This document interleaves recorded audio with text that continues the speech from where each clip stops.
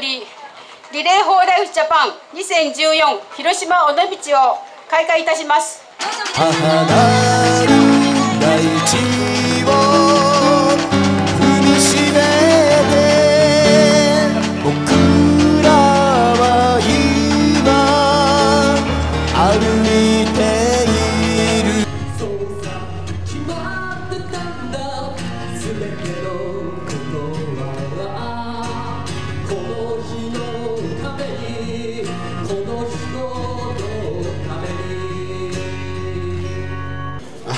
薬学部にそれぐらい薬剤師って多分一般の方々には浸透してないんじゃないかなと。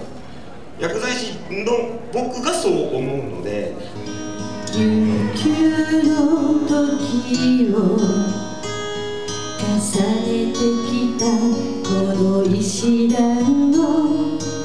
びっくりしたことにその藤井さんが受けたメダルが土砂の中から昨日見つかったんです。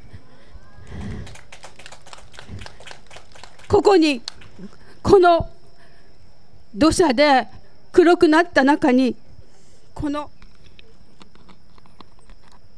このリレー・フォー・ライフのメダルが見つかったんです。絶対彼女もね今日ここに参加したかったんです。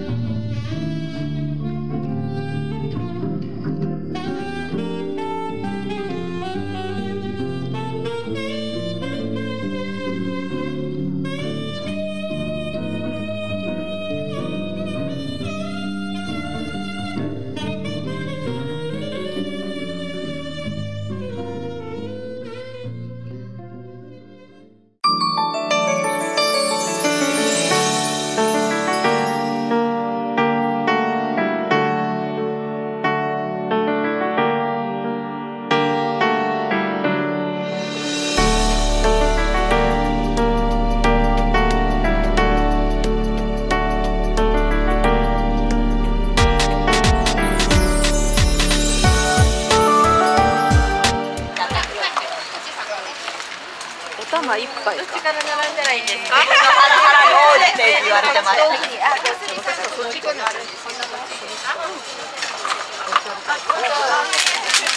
こうやって取ってもらおう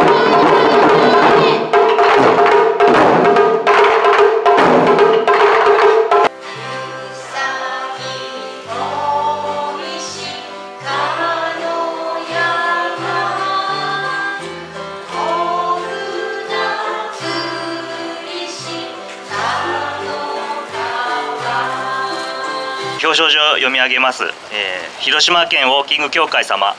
えー貴殿はリレー・フォー・ライフ・ジャパンで素晴らしい活躍をされリレーの成功に多大な貢献を賜りました。ここに感謝を込めてグッドサポーター賞として表彰いたします。2014年9月15日日本対がん協会リレー・フォー・ライフ・ジャパン広島実行委員会。おめでとうございます。グッドサポーター賞足もみ隊様、えーどうぞ前へ。